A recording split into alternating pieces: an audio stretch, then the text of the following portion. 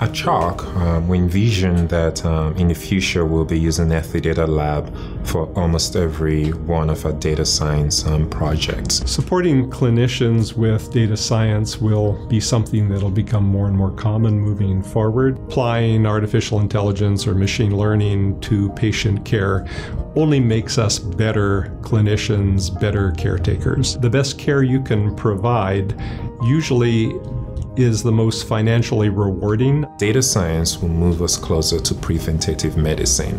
I think that the partnership between AWS and Cerner it's probably one of the most important partnership in healthcare in relation to uh, machine learning and artificial intelligence in medicine. Here at CHOC, we had a chance to use the HealtheDataLab to update our model on readmissions to improve its accuracy. And uh, we've seen lately that readmission rates have begun to fall since implementing this in our electronic medical record. Our relationship with Cerner and HealtheDataLab has certainly improved our data science programs here at CHOC.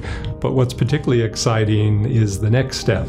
Next, we hope to expand this improvement across the United States and really throughout the world as we work together with Cerner to advance data science in healthcare. It's not just a headline anymore, it's an actual part of what we're doing.